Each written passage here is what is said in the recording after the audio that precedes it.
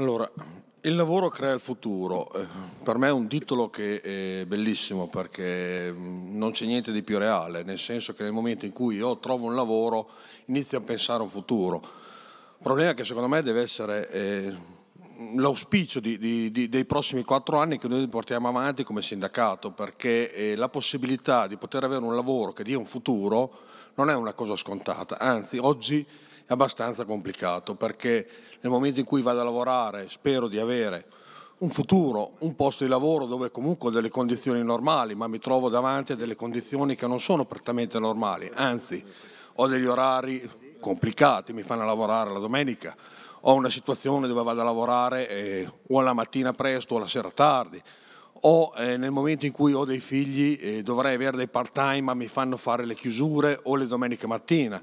Cioè ho una condizione di lavoro che non è quella che in teoria dovrei avere. Abbiamo un problema eh, che non è collegato con la vita, la necessità della vita dei lavoratori.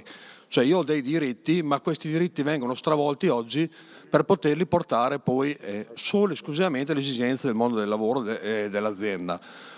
Questo secondo me è un grosso problema. Allora eh, ben venga, anche perché è bellissimo dire il lavoro crea futuro. Io ci credo perché sia a 20 anni che a 50, nel momento che ho un lavoro, inizio a pensare al mio futuro. Nel momento che non ho il lavoro, non riesco a pensare al futuro.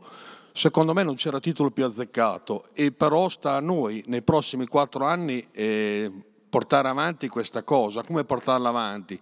Sicuramente cercando anche di eh, aggregare, come ha detto Cristian, segretario, di eh, avere più coesione tra le categorie all'interno della Camera del Lavoro, perché è facile dirlo, ma non sempre questo accade, anche perché noi dobbiamo tutelare i lavoratori. A volte ci dimentichiamo un po' per egoismo, lo dico per primis, a livello di categoria, eh, no, mm, voglio tenermi il mio iscritto, ma non è così perché noi dobbiamo tutelare i lavoratori, sia che sia da una parte che dall'altra. Il nostro scopo è quello della CGL di migliorare la qualità della vita dei lavoratori in tutti i campi e ritengo che sia opportuno cercare di far sì che questa parola abbia una realtà si parla del diciottesimo congresso provinciale, eh, diciannovesimo congresso provinciale della Camera del Lavoro, ne abbiamo fatto uno quattro anni fa che era diciottesimo, che ha passato la storia, bene, male, non entro in questo, ha scritto sicuramente una pagina della storia eh, de della Camera del Lavoro di Reggio Emilia,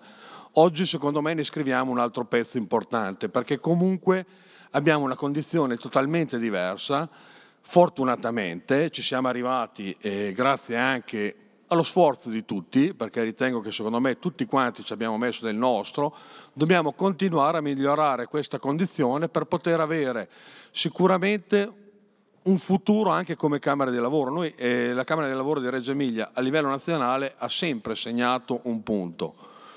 Non a caso oggi abbiamo eh, dei gruppi dirigenti a Roma dove c'è una buona parte di Reggio Emilia, ne diciamo due, uno è Maurizio Landieri qui presente, Gino Giove, no, che sono usciti fortunatamente anche dal percorso di Reggio Emilia. Quindi secondo me dobbiamo continuare a essere anche consapevoli di quello che è l'importanza della Camera del Lavoro di Reggio Emilia e darci da fare perché questo continui sia sul mondo del lavoro che anche a livello sindacale.